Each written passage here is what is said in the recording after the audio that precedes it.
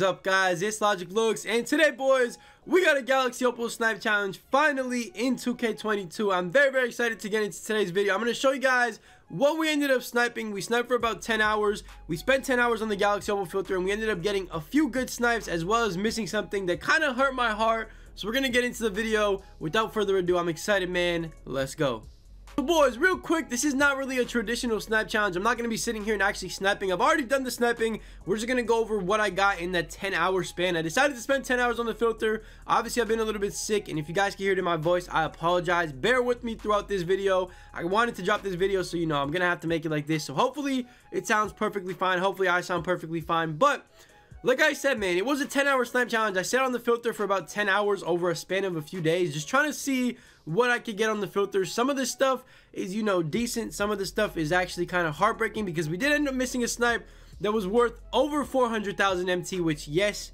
you guys are going to see later in this video, and you guys are going to see just only pain in this video. So stay tuned, man. We got a few snipes as well. We ended up getting three Galaxy Opal snipes in total, which in my opinion I mean, that's not bad at all, to be honest. 10 hours on the filter. Obviously, you know, if it was a little bit hotter, we could have got even more snipes. But, you know, 10 hours, not too bad. Three snipes, one miss. Let's get into them. I want to show you guys what I ended up getting, how I ended up getting it, and how much everything sold for. And of course, at the end of the video, we're going to talk about how much profit I made and if it is worth it to sit on this filter. Boys, we're gonna get into it. The very first snipe of this Galaxy Opal Snipe Challenge. I know it's a little bit of a weird challenge because we're not really sniping right now. I will probably do another one of these probably this weekend when I'm a bit healthier, so stay tuned for all that. But getting into the very first snipe of today's video now this one right here was actually a really really good one i think it made me the most profit out of any of the cards if i'm not mistaken i might be wrong on that stay tuned and find out when we go over the other snipes as well but the very first snipe, I'm going to pop up the clip on the screen. You guys are going to see it. When you see this clip, you're going to be cringing a little bit because I did end up going super, super, super slow. I probably shouldn't have got this snipe. This was one snipe that I had one controller on the hand, bro. I had one controller on my phone, one controller on the hand, one hand on the controller, and somehow, somehow I ended up still getting the snipe. So I'm going to roll the clip. You guys are going to see it, man. Yes, it was none other than Christopher Bosh for 100,000 MT. And at the time, he was actually still pretty expensive. I believe this was before the new season dropped, if I'm not mistaken. And I did end up selling him. I'm going to pop up the screenshot on the screen. You guys are going to be able to see this on the screen.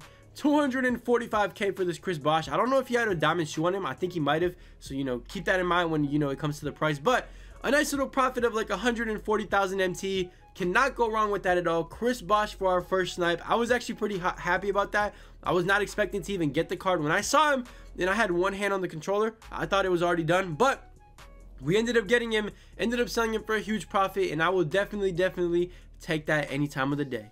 Now boys, this second snipe of the video and of the challenge, I actually ended up getting myself something pretty similar, something that we've already gotten. And I'm not going to lie, I kind of feel like I did bad with this because I ended up selling it at possibly the worst potential time ever. Like there was no worse time to sell this card than when I did. So it's kind of my fault that it sold for such little because I actually ended up selling it on Friday night, technically Friday night. It was at like 4 a.m. when it probably ended because I put it up at around like midnight. Probably ended around 4. And honestly, not a good idea. Do not do that with your cards. I was just trying to get rid of it quickly so I can have some more MT for the next day, the following day for content. But regardless of all that, man, the card that I ended up getting, I'm going to roll the clip on the screen once again. You guys are going to see it. And yes, I did end up going faster on this one. I know the first one was a little bit of a fluke. This one right here, ended up getting it with ease. Ended up getting myself a second Christopher Bosh for 100,000 MT. Now, this one is actually pretty crazy because the amount of difference that these two cards sold for is kind of insane. But that's what happens when you put up cards at a bad time. I actually only ended up getting around 140,000 for this card, which is kind of ridiculous because this card definitely goes for a lot, lot more. So, I was obviously kind of mad about that, but I mean, it is what it is. We still got the snipe. You know, in my heart, I still got it. It is what it is, man. I'm not really complaining too much about it. I can't be too mad about it.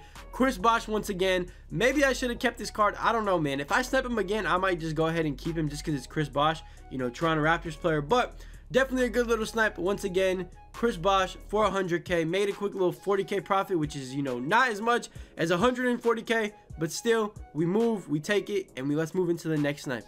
So boys, the next snipe that we actually ended up seeing on the filter was actually a snipe that we ended up seeing live while recording the snipe filter video on Friday and I kind of cut it right before I could show you guys if I missed it or I ended up getting it and you guys have no clue what ended up happening to this day. I know some of you guys didn't even peep that. Some of you guys caught that and, you know, messaged me or commented on the video and said, yo, Logic, what happened with this, you know, card at blah, blah, blah time frame. But listen, man, all I'm going to say is this right here is where the only pain kicks in. If, if that means anything to you, I mean, you guys know we did end up missing this right here. I have no idea how I ended up missing this. I might have been, you know, a little bit too slow, but I saw the card super early. I wasn't even delayed, so I have no idea how I ended up missing this. I'm going to throw up the clip on the screen for you guys. You guys are going to see it. I'm not even going to say nothing, matter of fact. I'm going to just let it roll. Here you go, man. Let me know what you think. Let's just get it.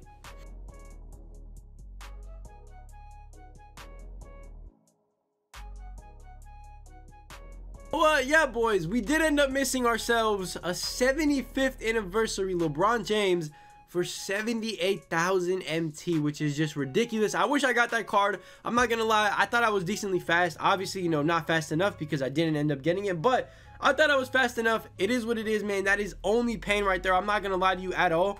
That right there, man, is only pain because if we ended up getting that, we could have made easily over 400,000 MT just off that card right there. So definitely a whole lot of pain, but it is what it is. You know what, man? You're not going to end up getting every single, you know, snipe when you actually get on the filter. So I can't really be that mad, although I am kind of mad because, I mean, LeBron would have been a huge help for our MT count. I mean, this card is going for a ridiculous amount. That one has added badges, so that's not an accurate price, but you guys can see, man, this card is pretty rare. It is not popping up that much on the auction house at all. And to be honest, if we got it for 78k, I would have been going crazy in that filter video. But I cut it at the perfect time. I let you guys, you know, find out today that no, we did not end up getting LeBron. So only pain in the comment section down below, man. And let's move in to the last snipe of today's snipe challenge. Boys, the very last snipe of today's snipe challenge is actually another great one. Another one that's actually different. Finally, something different from Chris Bosh snipes because honestly, as much as I love Chris Bosh, we got to stop sniping him because, I mean, I want some variety in my snipes. And I did end up getting this. I was actually on the filter for like 20 minutes. Now, like I said, I spent 10 hours in total on the filter, but that doesn't mean I was on the filter for 10 hours straight. I kind of, you know, spread it out because if you're on the filter for 10 hours straight, I mean, honestly, you should be able to get something, but at the end of the day, you know, it might be a little bit more difficult to do it that way as opposed to, you know, splitting it up between like every couple hours on the filter. So I ended up getting on the filter 20 minutes later, ended up getting this snipe right here. You guys are going to see it on the screen. It was none other than the brand new, or I mean, you could say brand new, Luka Doncic for 100,000 MT. So not bad at all, man. A card that I was actually looking forward to actually trying out. So I did end up trying him out for a little bit, which is the great thing about sniping. If you snipe something that you want to use, you could use it for a little bit, then sell it for a profit. And at the end of the day, you're still going to be in the profit because you only got it for 100K. So Luka for 100k, ended up using him for like 3-4 games, you know, played a little bit of clutch time with him, ended up selling him, I think he sold for around 160,000 MT. You guys are going to see the screenshot, which might have been a little bit low once again, but, you know, I was selling on, I believe it was Friday, so I mean, it's kind of the worst day to sell. I probably should have waited out, but I just wanted to get this video out to you guys, and honestly, man, I could have probably waited because I didn't end up dropping it right away either because I was sick, so it is what it is, man. Listen, Luka, not bad at all. Two Chris Boshes, and a Luka in 10 hours. I mean, we can't go wrong with that. And then, of course, that LeBron James that we could have ended up getting, which would have been absolutely insane. I'm not going to lie. If we got LeBron, I would have been going crazy the entire day. But uh, yeah, boys, that's pretty much to do it for today's video. The profit we ended up making was around like 300,000 MT, so not too bad. I mean, 300K in 10 hours is not bad at all. That's like 30K an hour, which honestly, man, it could be a lot more. Obviously, it would have been a lot more if we ended up getting LeBron and capitalizing on our chances, but if you guys are wondering if it's worth it to sit the Galaxy Opal filter, I would say yes. Give it a try, especially if you have 100,000 MT or even more than that and you want to just try it out. Honestly, man, the worst thing that can happen is you don't get anything and you spend an hour just watching some Netflix in the background or YouTube. Do what you got to do though, man. Definitely think it's worth using the Galaxy Opal filter. I should have another Galaxy Opal Snap Challenge out for you guys this weekend. More of a live one. This one was kind of, you know, I did the sniping, then I recorded the video. The next one is to be like more like, you know, I'm recording the video while doing the sniping. I was just sick, so I was unable to do that. But definitely excited for all that. Definitely excited for more videos in the near future, man. Stay tuned. You know, I should be good to go in a few days. Obviously, I'm still a little bit sick. You guys can probably hear it in my voice, so I apologize. Hopefully, you guys enjoyed the video, though. Leave a like on it if you did. Hit that subscribe button if you are new to the channel. And I will see you guys in the next one, boys. I love you, man. Stay safe, stay blessed. I'll catch you. Peace.